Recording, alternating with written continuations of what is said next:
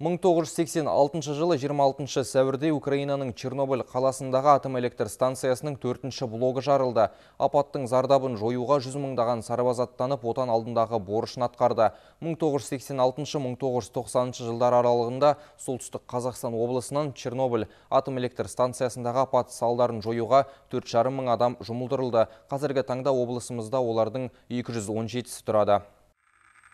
1986 жылдың 26 сәуірінде Украинадағы Чернобыль атом электростанциясында мыңдаған адамның өмірін қиған алапат апат орын алды. Бұл дүние жүзіндегі атом энергетикасы тарихындағы ең ірі жарылыстың бірі. Тіпті ол Жапониядағы Хиросима мен Нагасаки қасіретінен де асып түсті. Апат салдарын жоюға Қазақстанның өзінен 32 мыңға жуық адам жұмылдырылды. Солардың қатарында Қуандық Төлегенов те бар. Ол 1986 жылы отан алдындағы борышын Украинаның Чернигов қаласында өтеген. Чернигов Чернобыль қаласынан 78 шақырым қашықтықта орналасқан. Сол себепті ол ең алғашқылардың бірі болып жарылыстың зардабын жоюға қатысқан. Когда под утро мы узнали что авария случилась біз жарылыс жайлы таңертең естідік бірақ оның соншалық тауқымды екенін түсінбедік. Біз сарбаз болғандықтан берілген тапсырманы орындадық. Бұл жарылыстың салдарын сол жерге барғанда ғана көрдік. Әскери адамдардың қарасы қалың болды. Жалпы мен радиация аумағында бес ай болдым. Одан кейін 87 жылы елге оралдым. 2003 жылдан бастап менің денсаулығым сыр бере бастады. Солтүстік қазақстан чернобыль қоғамында 76 ардагер бар. Айтуларынша қазіргі таңда ардагерлерге жаңа жәрдемақылар беріліп отыр. Мысалға осы жылы алматы петропавл теміржол бағыты бойынша жүретін ардагерлерге тегін билет ұсынылады. Қазір